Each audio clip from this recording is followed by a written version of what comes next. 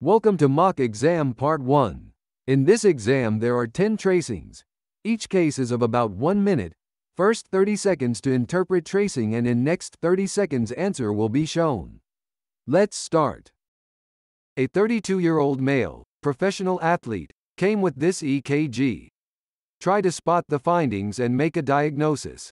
Answer will be explained after 30 seconds.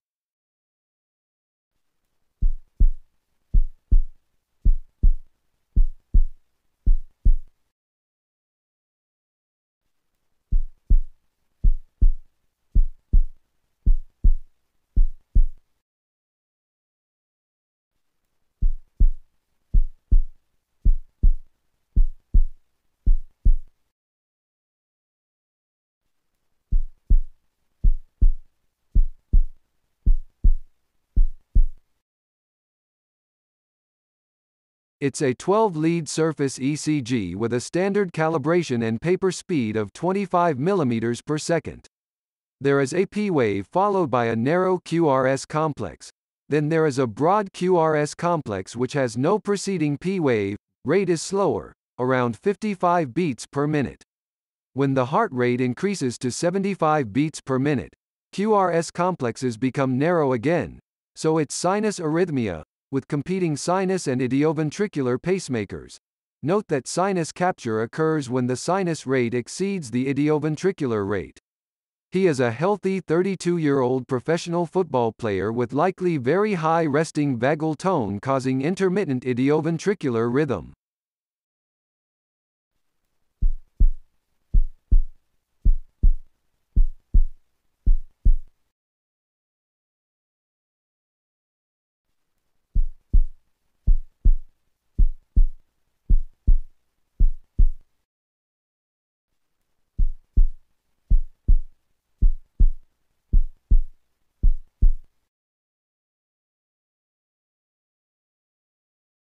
A 55-year-old male came with chest pain for last two hours.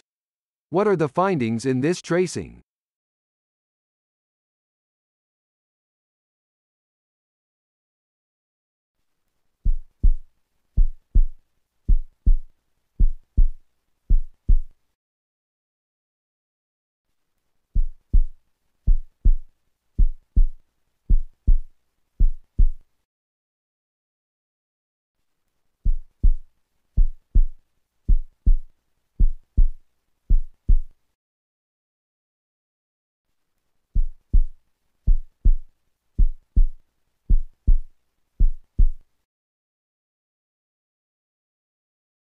That's extensive anterior wall myocardial infarction. Massive ST elevation is present throughout the precordial leads and high lateral leads. It is seen in proximal LAD occlusion and indicates a large territory infarction. He needs urgent revascularization.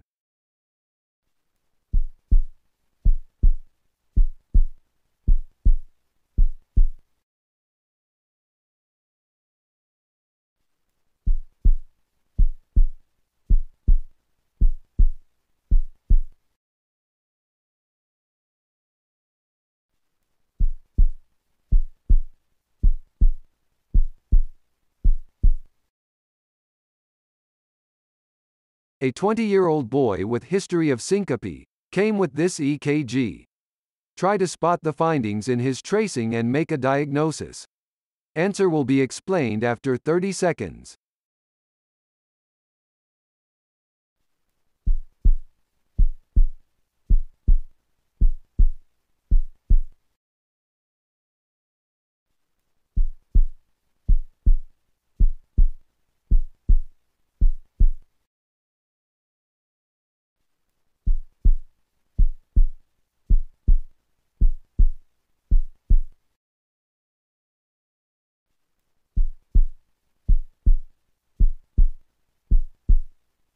Note the epsilon wave which is the most specific finding, seen in 30% of patients with ARVC. There are T-wave inversions in V1 to V3, prolonged S-wave upstroke of 55 milliseconds in V1 to V3. Also note the localized QRS widening of 110 milliseconds in V1 to V3. All these findings are consistent with diagnosis of arrhythmogenic right ventricular dysplasia.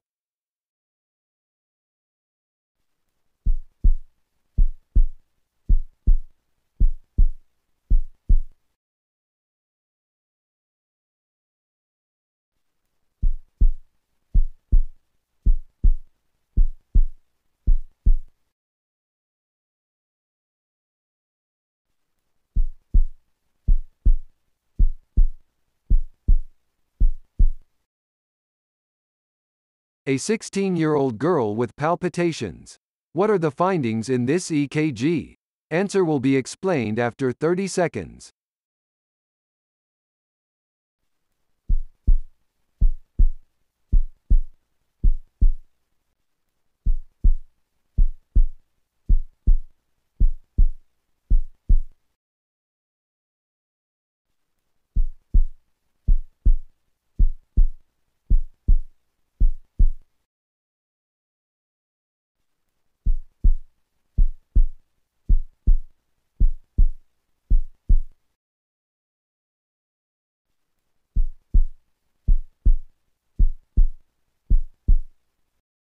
It's a narrow complex tachycardia at a rate of about 110 beats per minute.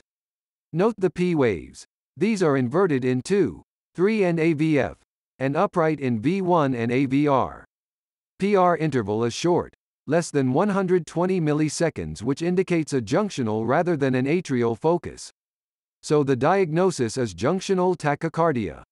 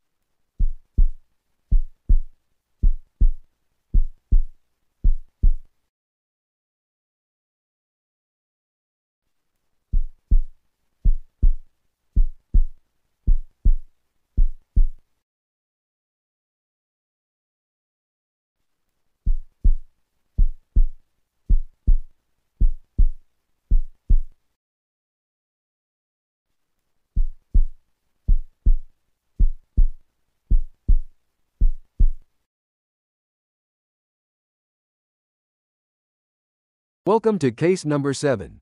Try to spot the findings and origin of abnormality.